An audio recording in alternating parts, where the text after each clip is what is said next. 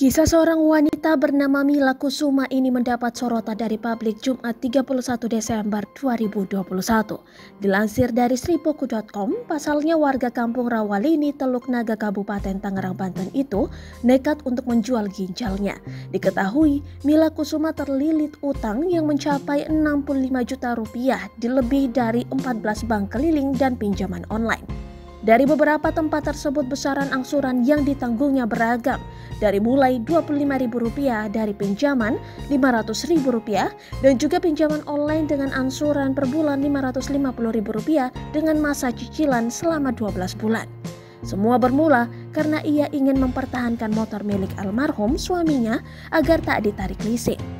Tetapi rupanya motor yang ingin dipertahankannya itu bukan atas nama suaminya, namun nama orang lain yang juga masih mengangsur. Kini, nasib Mila Kusuma kian miris. Ia masih memiliki tanggungan empat orang anak dan masih harus berjuang bertahan hidup.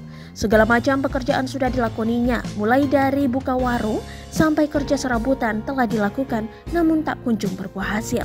Bak sudah putus asa dengan nasib yang dihadapinya selama lima tahun dirinya gali lubang tutup lubang demi bertahan hidup membuat Mila Kusuma sempat ingin bunuh diri dan menegak obat dengan dosis berlebih. Warganet turut iba dengan nasib si ibu yang kini kebingungan harus melunasi utangnya.